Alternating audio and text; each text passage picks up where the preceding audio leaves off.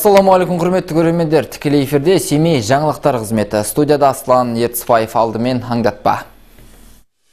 Бұйыл ұшақтар кентіндегі жолдарды грейдерлеу бойынша жұмыстар жеті көшені қамтиды. Құм қиыршық тас қоспасын арнайы жүк техникасымен себу жұмыстары басталды. Семейде әскери музыканттар плац концерт ұйымдастырды. Шара қарулы күштердің 30 жылдығы мен жеңіс күніне арналды. Жерлесіміз Азия чемпионы атанды. Жүлдемен оралған Азамат Дәулетбековті семейліктер құрметпен қарсы алды. Биыл кемеңгер жазушы Мұхтар Әуезовтің туғанына 125 жыл толды. Толады. Осыған орай бүгін Мұхтар Әуезовтің классикалық мұрасы әлем мәдениет контекстінде атты республикалық ғылыми тәжірибелік конференция өтті. Қазақстан Республикасы мәдениет және спорт министрлігінің басшылығымен Абайдың Жидебай бөрілі музей қорығы мен Алихан Бөкейхан университеті бірігіп өткізген жиында еліміздің әр өңірінен келген ғалымдар баяндама жасады. Қаламызда қазақтың классик жазушысы ғұлама ғалым Мұхтар Әуезовтің туғанына 125 жылдық мерейтойына арналған республикалық ғылыми тәжірибелік конференция өтті. Оған Қазақстан Республикасы Мәдениет және спорт министрлігінің өкілдері мен жазушы ғалымдар қатысып, заманымыздың заңғар жазушысының өмірі мен шығармашылығына арналған баяндамалар жасады. Біз мынау Қазақстан жазушылар одағы дейтін бүкіл қаламгерлердің қара шаңырағы сол Мұхтар Әуезовтің табанының табы қалған қабырғасында сөзі қалған ә, жүрегімен ақтарылып бүкіл ә, руханиятты алтын қазыққа айналдырған ордасы қазақстан жазушылар одағы дейді. Сондықтан да сол ә, 800-ден астам жазушының ықылас пейілін әкеп отырмыз. Ә, айтылатын әңгіме бар ә, ұсыныстары бар пікірлер бар. Бір ғасырдың ә, тұлғаларының ішінде абайды өз биігіне шығарам деп сол биікте қалып кеткен үлкен ұлы жазушы болса мұхтар әуезов. Заңғар жазушының 125 жылдық мерейтойына орай өңірде жыл бойы жүзден астам шара ұйымдастырылмақ. Түрлі көрмелер театр фестивальдері әдеби байқаулар өтпек. Әуезовке қатысты тың зерттеулер жарық көреді. Мерейтойға орай халықаралық деңгейдегі шаралар да қолға алынбақ. Тоқсанға тарта республикалық және халықаралық іс шаралар және бес жүзге тарта бес жүзге тарта республикамыздың өңірлерінде осы әуезовтің жиырма жылдық мерейтойына байланысты іс шаралар жоспарланып отыр. Және мынау түркі академиясы түрксой ұйымымен бірлескен халықаралық деңгейдегі іс шараларымыз өтеді. Басты мақсат әуезовтің қалдырған мұрасын жаңғыртып болашақ ұрпаққа насихаттау. Мұхтар әуезовтің классикалық мұрасы әлем мәдениеті контексінде атты республикалық ғылыми тәжірибелік конференцияға жиналғандар мұхтар тану ғылымын кеңейту керек деген ұсыныстарын жеткізді. Сондай ақ қайраткерлігіне өз деңгейінде назар аударылмай жүргендігіне тоқталды. Өйткені заңғар жазушы елуінші жылдары тұңғыш рет семей ядролық сынақ полигонының мәселесін көтерді. Сондай ақ жарияланбаған еңбектерін тауып жарыққа шығару жайы да айтылды. Жиын соңында қарар қабылданып мерейтой аясында атқарылатын шаралар талқыланып қорытындыланды. Аслан етісбаев елжан мағзұмов семей телеарнасы.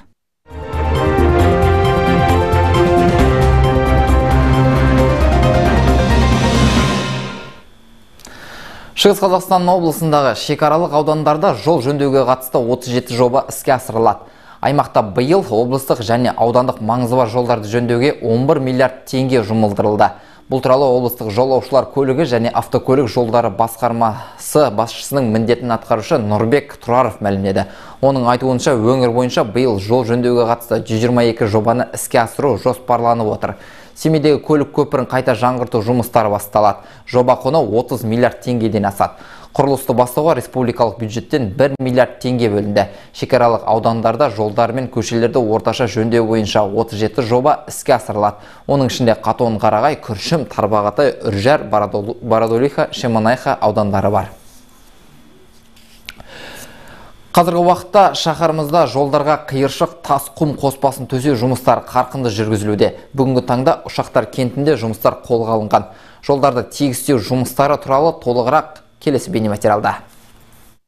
Биыл ұшақтар кентіндегі жолдарды грейдерлеу бойынша жұмыстар жеті көшені қамтиды. Құм қиыршық тас қоспасын арнайы жүк техникасымен себу жұмыстары басталды. Жалпы бұл жұмыстарға 20-ға жуық адам мен оннан астам техника жұмылдырылды әзірге оның қашан аяқталатыны туралы нақты ақпарат жоқ. Барлығы ауа райына тікелей байланысты дейді жұмысшылар. Биылғы жылы осы поселок ұшақтардан жеті көше берілген. Енді сол көшелерді бастап істеп жатырмыз. Мынау ең бірінші көше 15 переулок деп аталады. Ең бірінші астын қырып каритасын шығарамыз. Одан кейін үстіне шебін төсеу жұмыстары одан кейін үстіне 5-6 сантиметрде пгс шаямыз бұның үстіне. Бүгін бастадыңыздар енді неше күнде жалпы аяқтау жоспарланған ол ауа райына байланысты егер ауа райы қолайлы болып жаңбыр болмаса жұмыс тез жүреді. Ал егер жауын шашын күн кішкене суытып кетсе кеп жер кеппесе ол дұрыс болмайды жұмыс. Аталған аудан тұрғындарының айтуынша жаңбырдан кейін шұңқырларға су жиналып адамдар батпақ кешіп жүруге мәжбүр болатын. Сонымен қатар бұл жердегі балабақша мен мектепке әсіресе күзгі көктем кезеңдерде балалардың жетуі қиын. Айта кетерлігі аудан жолдардың жөнделмегеніне бірталай уақыт болған. Көше бойындағы техникаларды көрген тұрғындар қуаныштарын жасыра алмады. Енді жол салынып жатыр алла бұйырса мына жол бітсе. Жақсы болды мына ұсақ балаларға. Жүгіріп ойнап. Сол. Енді тезірек бітсе сол жақсы болар еді алғысымыз шексіз енді. Көктемде өте қиналып қалдық. Балаларды сабаққа жібере алмай батпақ басып. Енді жол салып жатқанына қуанып жатырмыз. Биыл енді күзде де көктемде де балаларымыз сабаққа қалдырмай батпақ баспай барып деп енді соған көп рахмет айтамыз. Әкімнің жұмыс жасап жатқанына. Мынау көктемде бізде балалар жүре алмай мектепке бара алмаушы еді балабақшаға. Үлкен рахмет сіздерге. Мына осындай жол салып жатқандарыңызға мына жолды тақтайдай қылып енді осыдан кейін асфальт салса вообще жақсы болар еді. Жалпы қала бойынша тозған қозғалысқа жарамсыз жолдарды жөндеуге баса назар аударылуда. Жақын арада тұрғындардың өтінішімен бекітілген жоспар бойынша тағы бірнеше көше жөнделетін болады аслан ертісбаев талшын шәкіртхан айдос айтқалиев семей телеарнасы Бүгін қаламыздағы жалпы орта білім беретін мектептердің 5 6 және 7 сынып оқушылары арасында Жомарт Базенұлы атындағы физика және математика пәндерінің олимпиадасы өтті. Оған қала бойынша 66 мектептен 160-қа жуық оқушы қатысты. Аталған білім сайысы 13 жыл бойы дәстүрлі түрде өткізіліп келеді. Бүгін қаламыздағы жалпы орта білім беретін мектептердің 5, 6 және 7 сынып оқушылары арасында Жомарт Бәзенұлы атындағы физика және математика пәндерінің олимпиадасы өтті. Оған қала бойынша 66 мектептен 160-қа жуық оқушы қатысты. Аталған білім сайысы 13 жыл бойы дәстүрлі түрде өткізіліп келеді. Жомарт Бәзенұлы Мархаметов белгілі математик, дарынды ұстаз. Өзінің еңбек жолында математика және физика ғылымдарынан сапалы білім беріп мыңдаған шәкірт тәрбиелеген. Олимпиаданың ашылу салтанатына ұстаздың жақын туыстары келіп ұйымдастырушылары мен шәкірттеріне алғыс білдіріп қатысушыларға сәттілік тіледі. Бұл бүгінгі өтіп жатқан олимпиаданың иесі жомарт бәзенұлы менің туысқаным. Мен сол әулеттің келіні боламын неге осы бесінші алтыншы жетінші сынып оқушыларын мына олимпиада өтіп жатқан себебін айтты. Өйткені тура сол жаста бұл кісі ең алғаш өзі өзінің үйінен осы математиканы жақсы көргендігінен алматы қаласына барып осы физика математика мектебін тәмамдаған. Осы уақытқа дейін ол кісінің шәкірттерінен әлгі әріптестерінен тек қана ол кісінің ақкөңіл болғандығын өте мықты математик мұғалім болғандығын естиміз. Олимпиада бір кезеңнен тұрады. Оның барысында әртүрлі қиындатылған есеп ұсынылды. Әрбір оқушының қабілеті мен білім сапасын қалалық білім бөлімінен сайланған қазылар алқасы бағалады. Ал қатысушылар өздерінің тиянақты түрде жіті дайындалғандарын жеткізді. Мен математиканы өте жақсы көремін. Мен осында отырған балаларға және достарыма және өзіме сәттілік тілеймін. Я впервые пришел на мен биыл алғаш рет жомарт бәзенұлы атындағы математика пәнінен олимпиадаға қатысып тұрмын. Мен ұзақ уақыт дайындалдым. Маған математика пәні нақты ғылым болғандықтан қызықтырады. Бұған дейін карантиндік шектеулерге сәйкес екі жыл қатарынан олимпиада онлайн түрде өткен. Осы жеңімпаздарды анықтау үшін комиссия құрылып және де аты жөндері ешқайсы балалардың жазылмайды арнайы кодпен ғана болады сол код бойынша комиссия бәрін тексереді балалардың аты жөні мүлдем белгісіз болады комиссияға сол кезде нақты түрде жеңімпазымыз анықталатын болады негізінде турым олимпиадалық тур екі турдан болатын биылғы түрде қазір бір турдан болады арнайы бес алты есептен болады ол бесінші алтыншы жетінші сыныпқа стандартты емес қиындатылған және де олар шығара алатындай да есептер бар болады ұйымдастырушылардың айтуынша математика адамды ой еңбегіне тәрбиелейді. Есептердің шешімін таба отырып баланың ойлау жүйесінің дамуына ықпал етіп өмірдің кез келген жағдайында дұрыс шешім табуға бағыттайды. Сондықтан жыл сайын өткізілетін дәстүрлі олимпиаданың болашақ ұрпақтың өмірі үшін мәні зор. Айнұр қасым әділжан бейсенғазинов семей телеарнасы. Шығыс Қазақстанда биыл 100 дәрігер шетелде біліктілігін арттырады. Аймақта соңғы 5 жылда 341 медицина қызметкері Еуропа елдерінде біліктілігін арттырған. Бұл туралы облыс әкімі Даниал Ахметовтың қатысуымен өткен облыстық қоғамдық кеңесінің кеңейтілген отырысында айтылды. Даниал Ахметовтың айтуынша денсаулық сақтау саласына соңғы 5 жылда мол қаржы құйылған. Нәтижесінде ауруханаларға заманауи жабдықтар көптеп алынған жаңа қондырғылар мен дәрігерлердің жұмыс істей алу үшін ақ халаттылардың біліктілігін арттыру мақсатында арнайы бағдарлама қабылданған. Оның шеңберінде 5000 дәрігер білімін шыңдаған. Мамандардың 341-і Еуропаның үздік клиникаларына барып келген. Аталған бағдарлама алдағы уақытта да жалғасатын болады. Биыл 100 дәрігер шетелде тәжірибе жинақтауға мүмкіндік алмақ. Әскери музыканттар Семейде тұрғындарына мерекелік көңіл күй сыйлады. Шығыс өңірлік қолбасшылығының әскери оркестрі қарулы күштердің 30 жылдығы мен жеңіс күніне арнап плац концерт берді. Әскери музыканттар Мұхтар Әуезов атындағы алаңда Авеню сауда ойын сауық орталығында және арена көп қызметті мәдени спорт кешенінде өнер көрсетті. Майор Мақсат Шакеновтың жетекшілігімен әскери оркестр танымал композицияларды орындады. Қазіргі заманғы фильмдердің саундтректері жастардың назарын аудартса, аға буын өкілдері эстрадалық шлягерлерді бірге шырқады. Оркестр концертті жеңіс күні әнімен қорытындылады. Шығыс өңірлік қолбасшылығының әскери оркестрі өткен жылы өзінің 20 жылдығын атап өтті. Шығармашылық ұжым көптеген фестивальдер мен байқаулардың лауреаты сондай ақ отан қорғаушылар күні мен жеңіс күніне арналған шерулерге тұрақты түрде қатысып келеді. Отан қорғаушылар күнінің 30 жылдығына және ұлы жеңістің 77 жылдығына қарсаңында жас ұрпақтың бойына сүйіспеншілік патриоттық сезімді қалыптастыру мақсатында және әскери қызмет мемлекет қызметтің ерекше түрі ретінде насихаттау мақсатында бүгін әскери оркестр семей қаласының тұрғындары мен қала қонақтарына плац концерт көрсетті. Дендері сау болып бізді өйстіп қорғап әрқашанда жүре берсін қазақстан күшейсін. Ә, біз енді ә, нақты қорғаудамыз қорықпаймыз бәрі жақсы болады деп сондай оймен өмір сүрейік Семей қаласының өртке қарсы қызмет мамандары от жағатын учаскелерді дрондардың көмегімен анықтайды. Бұл жеке аумақтарда және орманды дала аймағында өрт фактілерінің алдын алады. Бұдан басқа рейдтік алдын алу шаралары жалғасуда. Семейде жыл басынан бері 105 өрт тіркелді. Оған қыс мезгілінен кейін тұрғындардың өз аумақтарын тазалап, сол жерде от жағатындығы себеп болуда. Бұл өз кезегінде өрт қауіпін арттырады. Өрт оқиғалардың алдын алу мақсатында өртке қарсы қызмет мамандары рейдтік іс-шаралар өткізеді. Данная работа проводится у нас на постоянной основе бұл жұмыстар бізде тұрақты түрде жүргізіледі. Жұмыстар маусымдық деп саналады. Қыс мезгілінде біз жеке сектормен жүріп біртіндеп өрттің қауіпті кезегіне өттік. Біздің барлық жеке құрамымыз тұрақты негізде. Сенбі жексенбі күндерде жұмыс істейді. Қазір жедел топтар бойынша бұйрықтар шығарылады. Яғни бұл адамдардың барлық жеке сектор бойынша. Содан кейін орманды дала аймағында жүреді.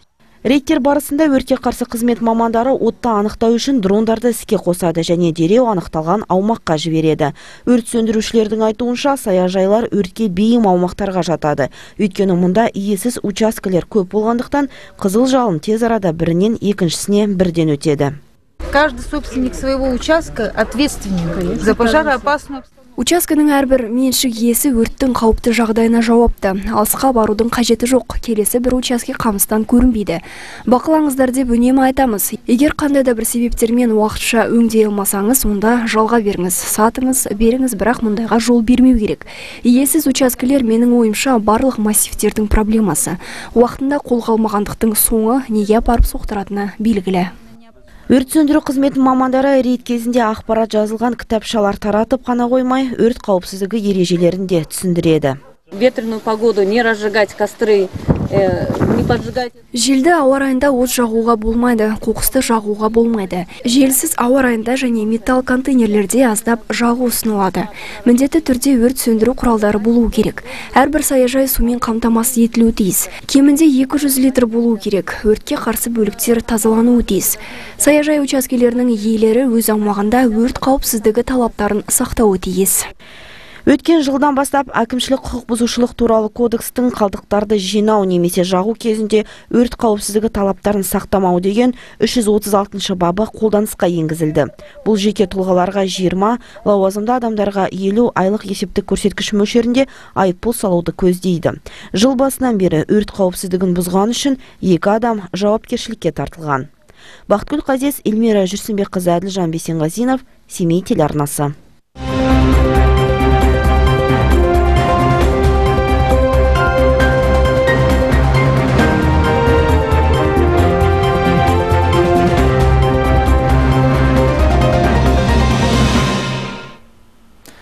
Хабарымызды спорт жаңалықтарымен қорытындылаймыз. Таяудан Монголия астанасы Улан Батырда еркін күрестен Азия, чемпионаты өтті. Аталмыш додада семейлік жерлесіміз Азамат Дәулетбеков Азия чемпионы атанып жүлдемен оралды.